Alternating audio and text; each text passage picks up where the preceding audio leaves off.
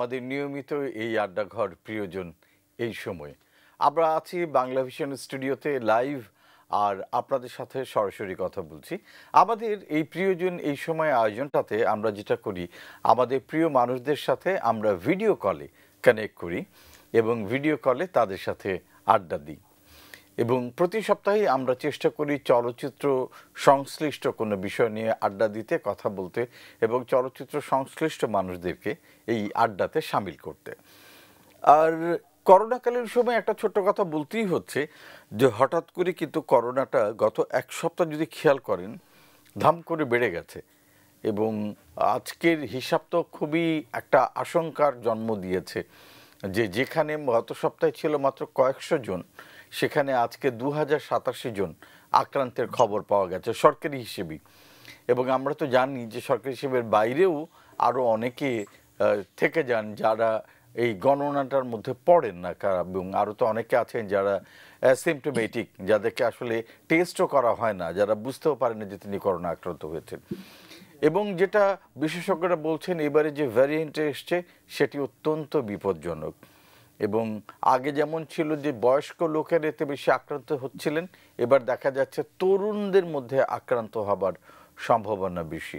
আবার অনেক বিশেষজ্ঞ জানিয়েছেন যে যারা আক্রান্ত হচ্ছেন, তাদের আইসিইউ পর্যন্ত যেতে হচ্ছে। তো এই ভ্যারিয়েন্টটা অনেক বেশি বিপজ্জনক। অতএব গত বছর ঠিক এই সময় যদি আপনাদের মনে থাকে, সারা বাংলাদেশ জুড়ে এবং বিশ্ব জুড়ে যেরকম সচেতনতা জারি হয়েছিল লকডাউন জারি হয়েছিল এবং আমরা যেভাবে নিজেদেরকে নিরাপদ অবস্থানে নিয়ে গিয়েছিলাম, সম্ভবত সময় চলে এসছে আবারও নিরাপদে।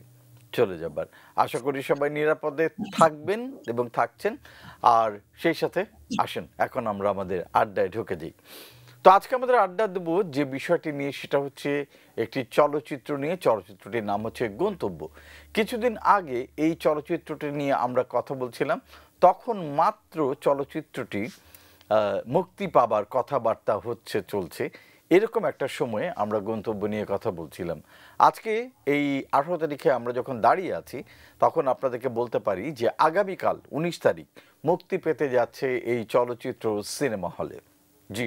গন্তব্য আগামীকাল থেকে চলবে সিনেমা হলে এবং এটি একটি বিশেষ চলচ্চিত্র, যার পটভূমি হচ্ছে সাতই মার্চের ভাষণ।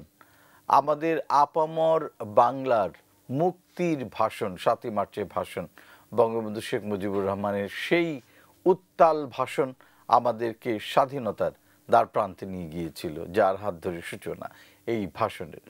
এই ভাষণকে কেন্দ্র করে এই ভাষণের স্পিরিটকে নিয়েই হচ্ছে চলচ্চিত্র গন্তব্য।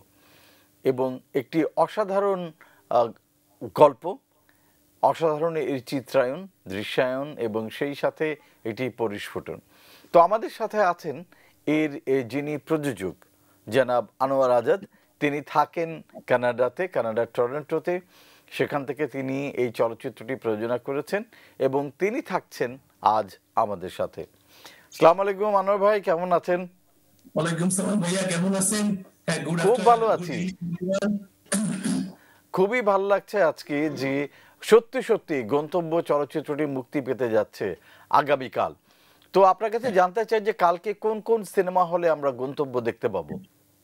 হ্যাঁ অবশ্যই এটা তো আমার জন্য খুশি খুশির খবর পুরো টিমের জন্য খুশির খবর প্লাস আমরা যারা যারা সিনেমা প্রেমী লোক যারা যারা বাংলাদেশের দর্শকরা তাদের জন্য এটা খুশির খবর যে অনেক এত এই দুঃসময় মানে করোনাকালীন দুঃসময় যে আমরা সিনেমাটা মুক্তি দিতে পারছি সেজন্য আমরা আমাদের একটু প্ল্যানটা একটু ডিফারেন্ট দেন আদার্স আমরা একবারে অনেকগুলো সিনেমা হলে দিব না।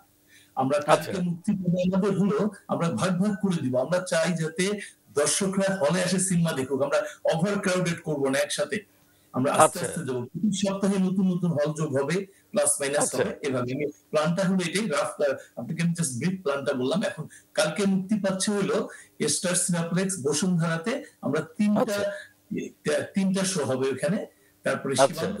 সিনাপ্লেক্সের সীমান্ত সম্ভার একইভাবে তিন তিনটা শো হবে আর হলো আর ব্লকবাস্টার সিনেমাস যমুনা ফিউচার পার্কে ওখানেও তিনটা শো হবে। এটা এই ঢাকা শহরে এই তিনটে আমরা সিনাপ্লেক্সের মধ্যেই রাখলাম ঢাকা শহরে, কারণ অনেক কটা সিনেমা হল এখনও বন্ধ হ্যাঁ এই, আর ঢাকার বাইরে আমাদের প্ল্যানটা যেটা, আমরা ছোট ছোট শহরে ছড়িয়ে দিতে চাই আসলে সিনেমাটা কারণ এটা, এই সিনেমাটার একটা বিশেষ দিক হলো এটা সাতই মার্চের বঙ্গবন্ধুর একাত্তরের সেভেন্থ মার্চের ভাষণের অনুপ্রেরণা আমরা স্বাধীনতার সাতটা দেখি, দেশপ্রেমের একটা যে শব্দ যে আমার দেশ এই জিনিসটা আমরা এখানে প্রকট ভাবে উঠে আসছে যে ছবিটা মানুষ হলে গেলেই দেখতে পাবে। যার জন্য আমরা চাই যে পুরো দেশবাসী সিনেমাটা দেখুক। যার জন্য আমরা প্রথমে তিনটে শহরে ছাড়বো। একটা হলো সান্তাহার পূর্বাশা একটা নাগরপুর আর একটা আর একটা হলো এটা আমি বলছি আপনাকে ওটা আচ্ছা ঈশ্বর দিতে বাহ। মানে বাংলাদেশের কোনায় কোনায় এই exactly exactly that's the whole whole idea that's the whole idea আচ্ছা বাহ দারুণ উদ্যোগ। আসলে সেটাই হওয়া উচিত যে যে চলচ্চিত্র আমাদের সাতই মার্চের ভাষণকে কেন্দ্র করে আমাদের স্বাধীনতা যুদ্ধের শুভ লগ্নকে শুরু করে সেটি তো আসলে সারা বাংলাদেশে ছড়িয়ে দেওয়া উচিত। দারুণ উদ্যোগ। না অ্যাবসলিউটলি অ্যাবসলিউটলি এবার আমন্ত্রণ জানাতে চাই ভিডিও কলে এর সাথে জড়িয়ে আছেন অন্যতম একজন এলিনা শাম্মী। দেখি তাকে আমরা ভিডিও কলে পাই কি না এলিনা সাম্মি কি আছেন আমাদের সাথে? ইয়াস হ্যালো এলিনা কি খবর? হ্যালো বাপ্পি ভাই সালাম আলাইকুম। সালাম আলাইকুম। সবাই বাংলা ভিশনের সবাইকে অনেক অনেক অভিনন্দন, শুভেচ্ছা এবং এরকম একটা খুশির দিনে এরকম প্রত্যেকেই আপনারা প্রত্যেকেই এভাবে ডাকেন এবং একত্রিত করেন এরকম খুশির একটি মুহূর্ত শেয়ার করার জন্য। সেজন্য আপনাদেরকে সবাইকে অভিনন্দন। আর বাপ্পি ভাই, চমৎকার উপস্থাপনার সাথে আমাদের থাকতেও বেশ ভালো লাগে। ভালো লাগার মুহূর্তগুলো শেয়ার করতে কান্না ভালো লাগে। আর তা যদি হয় একজন দক্ষ উপস্থাপকের সাথে এবং বলা যায় যে আমার কলিগ এর সাথে তাহলে তো আসলে কথাই নেই। যেহেতু এখন অভিনয় গুলোতে বেশি বিচরণ করতে হচ্ছে গন্তব্য এসে দাঁড়িয়েছে আমাদের গন্তব্যে প্রায় পৌঁছে গেছে। আর কয়েক ঘণ্টা মাত্র বাকি আছে। আজাদ ভাই যেমন বললেন, কতগুলো ফল আমরা পেয়েছি। এটা আসলে অন্যরকম অভাবনীয় একটি অনুভূতির নাম এখন গন্তব্য হয়ে দাঁড়িয়েছে। অনেক চড়াই উতরাই পেরিয়ে আমরা গন্তব্যের প্রায় শেষ সীমানায় পৌঁছে গেছি বাপ্পি ভাই। এটা খুবই আনন্দের মুহূর্ত বাংলা ভিশনের সাথে সারা দেশবাসীর সাথে, সারা বিশ্বের সাথে আমরা শেয়ার করতে পেরে খুবই আনন্দ লাগছে। এবং হলমুখ হবে প্রত্যেকটি বাঙালি প্রত্যেক বাঙালি সিনেমা সিনেমা প্রেমী মানুষ। সেই প্রত্যাশায় দিন গুনছি, ক্ষণ গুনছি এবং আমরাও থাকব কালকে প্রত্যেকটা হলে। এক এক এক একজন এক এক হলে থাকবেন। এইভাবে প্ল্যান করে আমরা আসলে কালকের দিনটিকে সাজিয়েছি বাপি ভাই। আরে বাহ! খুবই দারুণ একটা উদ্যোগ এবং আসলেই এটা একটা দারুণ চমৎকার মুহূর্ত। কারণ গতকাল আমরা একশো একতম বঙ্গবন্ধুর জন্মশতবার্ষিকী উদযাপন করলাম সারা বাংলাদেশ জুড়ে, বিশ্ব জুড়ে এবং ছাব্বিশে মার্চ পর্যন্ত টানায় দশ দিন অনুষ্ঠান চলছে, সারা বাংলাদেশ জুড়ে উৎসব পালিত হচ্ছে। সেই মুহূর্তে গন্তব্য মুক্তি পাচ্ছে হলে এবং বিভিন্ন চড়াই উতরাই পেরিয়ে। এটা এটা দারুণ একটা আনন্দের ব্যাপার। আমি জানি এলিনা, যে এই সিনেমাটার সাথে আপনার একটা গভীর সম্পর্ক আছে।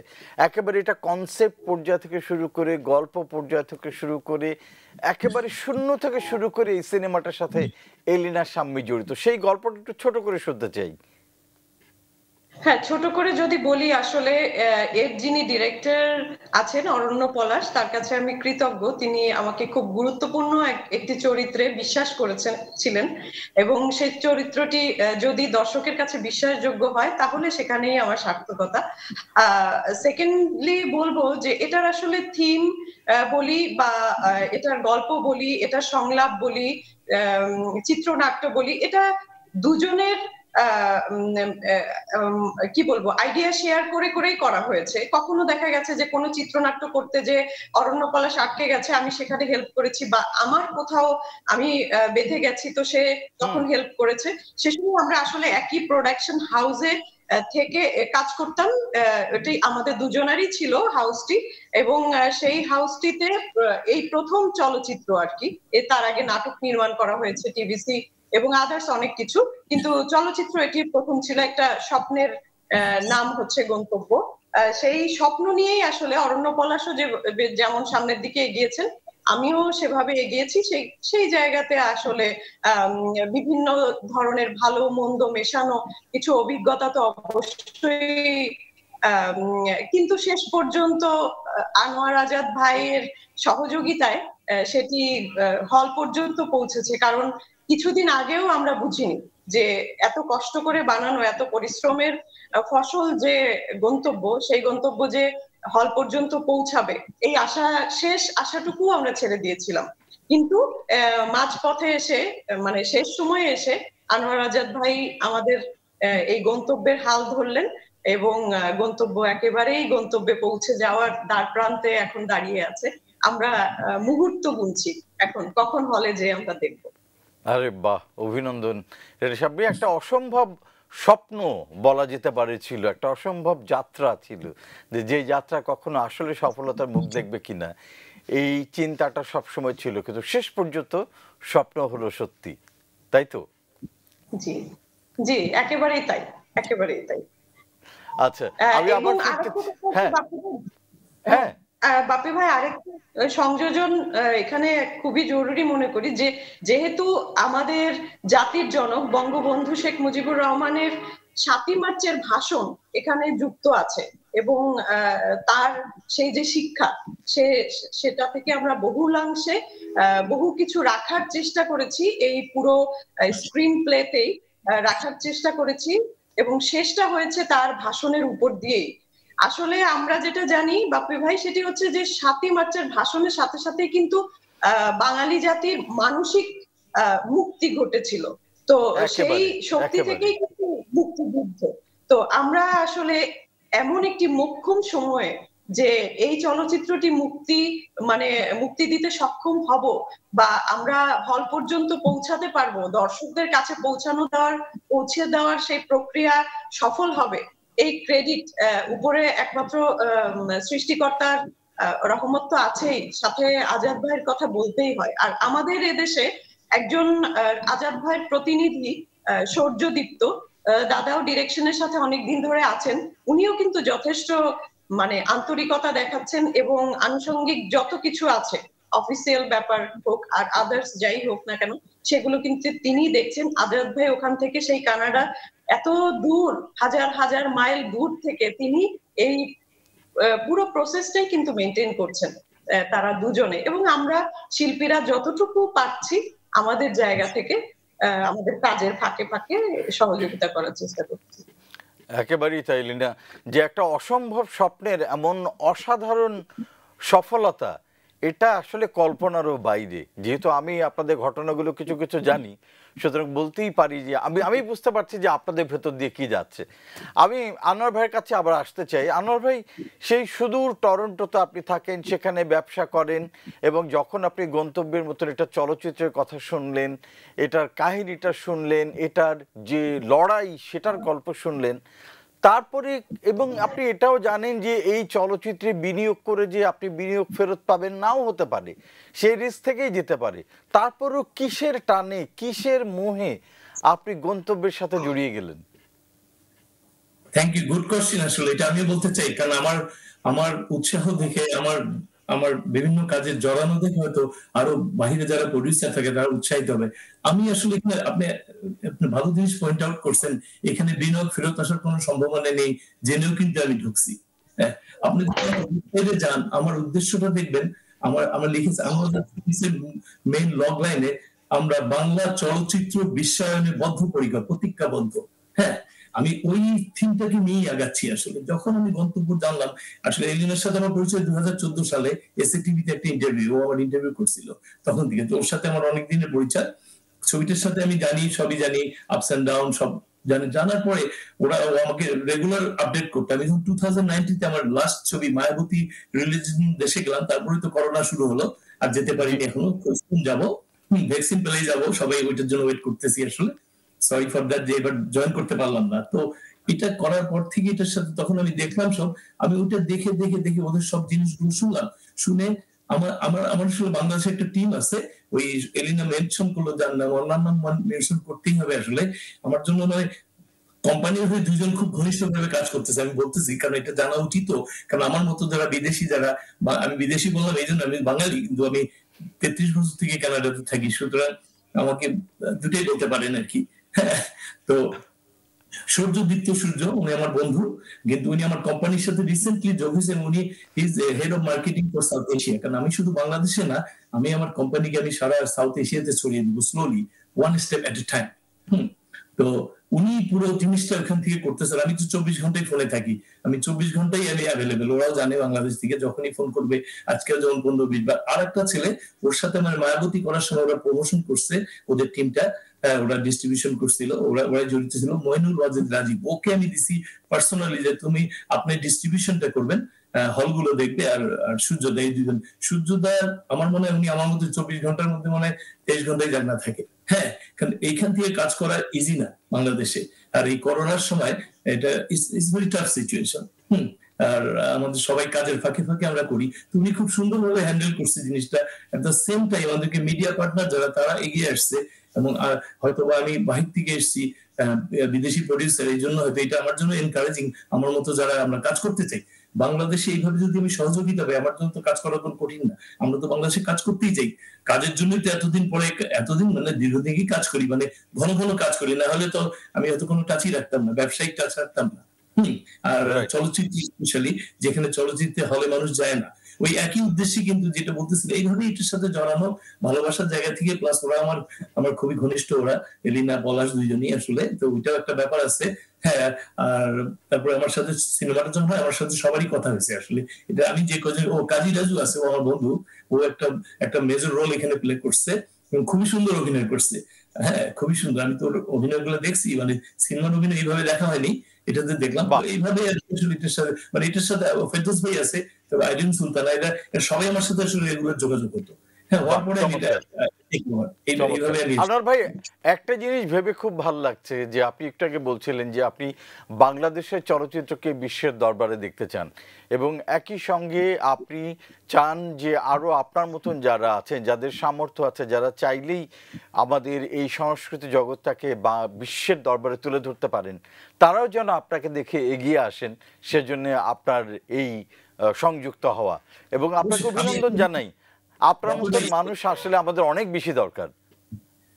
বাপি ভাই আমি একটা জিনিস অ্যাড করি ভুলে যাওয়ার আগে। আমি একটা জিনিস ভালো পয়েন্ট মিস করছি। আসলে সিনেমা বাদেও কিন্তু আমি আর একটা কর্মকাণ্ডের সাথে জড়িত। ওইটা ওইভাবে কিন্তু সিনেমা জগতে আমার আসা ওইটা মেনশন আমি একটা ইন্টারন্যাশনাল ফিল্ম ফেস্টিভ্যালের সাথে জড়িত। ওটার নাম হলো international film festival of South Asia Toronto যেটা largest South Asian film festival in North America this the largest one ওটার সাথে আমি একটু জন্ম থেকে জড়িত আমি একটু ডিরেক্টর অফ বেঙ্গলি এফিয়ার্স এই এটার সাথে হওয়াতে বাংলাদেশের চলচ্চিত্রের সাথে যারা যারা অন্য ধারার ছবি মূলধারার ছবি সব ছবি করে এদের সাথে আমার একটু ঘনিষ্ঠ যোগাযোগ আছে কিন্তু কারণ প্রতি বছরই আমার ফেস্টিভ্যালে এখানে বাংলাদেশ থেকে উল্লেখযোগ্য নাম্বার চলচ্চিত্রগুলো আসছে।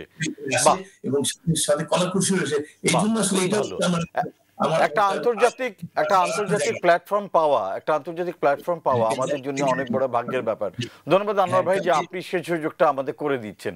আর ধন্যবাদ। আমরা একটা কাজ করি এলিনা এবং আনোয়ার ভাই আমরা একটা ছোট বিরতি নিই। বিরতি নিয়ে তারপরে আবার ফিরে আসব।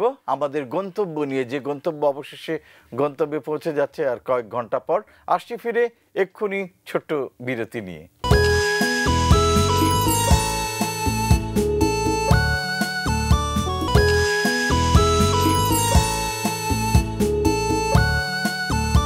আপনাদের সবাইকে আবারও স্বাগত জানাই। প্রিয়জন, এই সময়ে আমরা বিরতিতে ছিলাম, বিরতি থেকে ফিরে এলাম। আমরা কথা বলছিলাম বিরতিতে যাবার আগে চলচ্চিত্র গন্তব্য নিয়ে।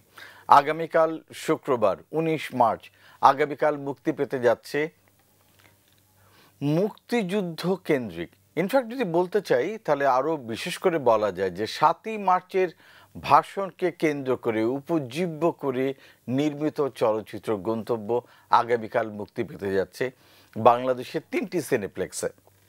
বসুন্ধরা সিনেপ্লেক্স, সীমান্ত সম্ভার সিনেপ্লেক্স এবং যমুনা ফিউচার পার্কের ব্লকবাস্টারে। এই তিনটি জায়গায় আগামীকাল মুক্তি পাবে চলচ্চিত্র গন্তব্য। এবং খুব অদ্ভুতভাবে আমরা যখন জন্মশতবার্ষিকী পালন করছি, সারা দেশ জুড়ে চলছে উৎসব তখন বঙ্গবন্ধুর সেই সাতই মার্চের ভাষণ কি করে সে সময় মানুষদেরকে উজ্জীবিত করেছিল? কেমন করে এখনকার প্রজন্মকে উজ্জীবিত করতে পারে, আন্দোলিত করতে পারে, সেটি নিয়ে নির্মিত এই চলচ্চিত্র গন্তব্য। সকল চড়াই উতরাই পেরিয়ে আগামীকাল অবশেষে মুক্তি পাচ্ছে চলচ্চিত্র সিনেমা হলে।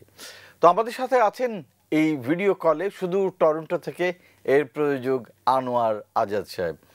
আজাদ ভাই স্বাগত আবার আপনাকে একবার আমাদের এই প্রিয়জন এই সময়ে। তো আজাদ ভাই এই গন্তব্য চলচ্চিত্রটি নিয়ে আগামীকাল মুক্তি পাচ্ছে সকালবেলা। তো আপনার কি কি প্ল্যান আছে? আন্তর্জাতিক গণমাধ্যমে আর কি কি করতে চান? আচ্ছা আমি বলি এটা বাংলাদেশে আমরা যেটা করতেছি এটা তো করতেছি তাই না? এখন কালকে আমরা মুক্তি দিব। প্রথম সপ্তাহে ঢাকা শহরে তিনটা তিন জায়গাতে সীমান্ত সভার বসুন্ধরা স্টার সিনেপ্লেক্স দুইটা লোকেশনেই at the same time Jamuna Future পার্কের ব্লকবাস্টার সিনেমা যার ঢাকার বাইরে আমরা তিনটা শহরে দিব। বগুড়া ঈশ্বরদী সান্তাহার। সান্তাহার ঈশ্বরদী আর একটা নাগরপুর পাবনা। নাগরপুর আচ্ছা। হ্যাঁ এটা এর বাহিরে আমার যেটা প্ল্যান এখন যেহেতু করোনা এখন তো আমি যে শহরে থাকি এখানে সব সিনেপ্লেক্সগুলো এখনও বন্ধ। এবং আমার আচ্ছা। মনে আপনি শুরুতেই বললেন যেটা যে বাংলাদেশের আজকে আশঙ্কাজনক ভাবে নাম্বারটা বেড়ে গেছে। একই কিন্তু আমি এই লাইভে আসার আগে দেখলাম টরন্টোতে মানে অন্টারিওতে যে প্রতিদিন যে কাউন্টটা দেয় আজকে কিন্তু ওদের এই গত দুই সপ্তাহের মধ্যে হাইস্ট ফিফটিন হান্ড্রেড তার মানে এখানেও কিন্তু বাড়তেছে। হুম সুতরাং আমার আমার যেটা প্ল্যান আমাকে একটু স্লোলি যেতে হবে কারণ নর্মাল না হলে দর্শক যদি হলে না যায় তাহলে সিনেমা রিলিজ দিয়ে তো লাভ নেই। তাই না আমি এখন ওয়েট করব একটা পারফেক্ট টাইম রাইট টাইমের জন্য সেটা হয়তো সেপ্টেম্বর অক্টোবর আমি বাহিরে রিলিজ দিব। শুধু কানাডা না কানাডা আমেরিকা অস্ট্রেলিয়া তিনটা প্রথম টার্গেট আমার। এট দ্য সেম টাইম এই সিনেমাটা দর্শক আমার শ্রোতা মানে অডিয়েন্স যারা আছে তাদের জন্য বলি এটা কিন্তু অলরেডি এই সিনেমাটা কিন্তু গত দুই বছর বসে থাকেনি। হ্যাঁ তিনটা ইন্টারন্যাশনাল ফিল্ম ফেস্টিভ্যালে পার্টিসিপেট করছে। আচ্ছা তাই নাকি? এই এই- এই এইটা একটু শুনতে চাই। কোন কোন ইন্টারন্যাশনাল ফেস্টিভ্যালে গেল? দুটা ইন্ডিয়াতে আর একটা ইংল্যান্ডে হ্যাঁ? আচ্ছা, এটা আচ্ছা। এটা ওদের উদ্যোগই কিন্তু আমার উদ্যোগে না এটা হ্যাঁ? এটা ওদের উদ্যোগে আচ্ছা। এবং ওদেরকে ওদেরকে যে সাহায্য করছে এটার ব্যাপারে তার নামটা আমাকে বলতেই হবে। I am grateful to him to আমার আমারই বন্ধু আশরাফ শিশির পরিচালক Bangladesh. National award winner director আপনারা সবাই ওনাকে চেনেন। গাড়িওয়ালার পরিচালক ও- ওদেরকে হেল্প করে। আমাকে এই সিনেমাটাতে পুরোটা কিন্তু Ashraf Shishir technical all help করছে আমাকে। কারণ বাংলাদেশ আসলে হেল্প হেল্প পাই সবার কাছে কিন্তু কোনো কোনো সময় একটু কঠিন। হ্যাঁ হ্যাঁ, কোনো কোনো সময় একটু কঠিন আর কি। হ্যাঁ যার জন্য আমি আমি ডিপেন্ডেবল লোক একজনই পেয়ে গেছি আশরাফ শিশির উনি করছে। তো ওনার উদ্যোগেই ফেস্টিভ্যাল গুলোতে গেছে আসলে। হ্যাঁ। আমি তখন হ্যাঁ আমি আমার ওনারশিপটা তখন আমার হাতে আসেনি আর কি। ওনার উদ্যোগে গেছে তো এই যা বললাম যে তিনটা ফেস্টিভ্যাল অলরেডি পার্টিসিপেট করছে তার মানে কি?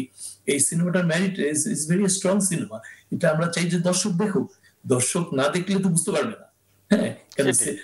যদি লিখে মানুষকে চোখে দেখতে হবে। আপনার আমার আমার কথা হলো যে পুরো সিনেমাটা দেখে তারপরে জাজ করেন।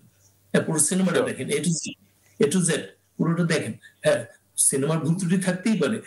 একটা কথা আছে there is always room for improvement ইম্প্রুভমেন্টের জায়গা কিন্তু আমরা সব জায়গাতেই আছে। আমরা এখানে বসে আছি। আজাদ ভাই আপনার কাছে আমার শেষ প্রশ্ন আমরা অনুষ্ঠানের শেষ পর্যায়ে আছি। শেষ প্রশ্নটা হচ্ছে যে আপনার আগামী প্রজেক্ট কি? এরপরে গন্তব্যের পরে আপনার পরবর্তী গন্তব্য কি? আমার পরবর্তী অবশ্যই অবশ্যই গুড। আমি যে প্ল্যান আমি আমি আরও আমি বাংলাদেশে আমার আরও একটা পরিকল্পনা আছে। বাংলাদেশে আজ থেকে চল্লিশ পঞ্চাশ বছর আগে কতগুলো সিনেমা হয়েছে ব্ল্যাক এন্ড হোয়াইট কালো যেটাকে আচ্ছা। এই সিনেমা হ্যাঁ, হ্যাঁ। কিন্তু খুবই খুবই পপুলার সিনেমা ছিল এবং সুপার হিট বলতে পারেন হ্যাঁ বাম্পার সেল হয়েছে সেই সময়। আমি এই সমস্ত কিছু সিনেমা কিনে নিব।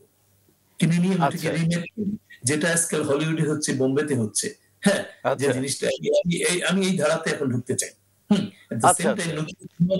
সেটা আমি দেশে না আসার আগে না হ্যাঁ আমি আমি নেক্সটে খুব তাড়াতাড়ি দেশে আসব হুম, যখনই আর কি অ্যাভেলেবেল টাইম মানে খুব দুই তিন মাস যেটাই সময় হোক। খুবই খুবই খুবই ভালো প্ল্যান যে আমাদের ঐতিহ্যবাহী চলচ্চিত্রগুলো সেই জনপ্রিয় সিনেমাগুলো আবার আপনাদের হাত ধরে আবার আসুক এবং আমরা আবার নতুন প্রজন্ম আবার নতুন করে সেই ছবিগুলি দেখুক। অনেক ধন্যবাদ আনোয়ার আজাদ ভাই। আমাদের সাথে যুক্ত হবার জন্য গন্তব্যের জন্য শুভকামনা। আর আপনাদের সবার প্রতি নিবেদন চলুন আমরা সবাই দলে বলে হলে যাই। আমাদের দেশের চলচ্চিত্র, আমাদের দেশের কাজ, আমরা সবাই মিলে উৎসাহ দিই, আমরা দেখি। অনেক চড়াই উত্তরায় পেরিয়ে অবশেষে সিনেমা হলে মুখ দেখছে গন্তব্য। এবং এমন করে অসংখ্য গন্তব্যকে আমরা গন্তব্যে নিয়ে যেতে পারি আমাদের সামান্য উৎসাহের মাধ্যমে, উদ্যোগের মাধ্যমে। চলুন, আমরা সিনেমা দেখি। বাংলা সিনেমা দেখি, বাংলাদেশের সিনেমা দেখি, বাংলাদেশের সিনেমাকে বিশ্বের দরবারে। তুলে ধরি। ভালো থাকবেন দেখা হবে আগামী সপ্তাহে। খুদা হাফেজ।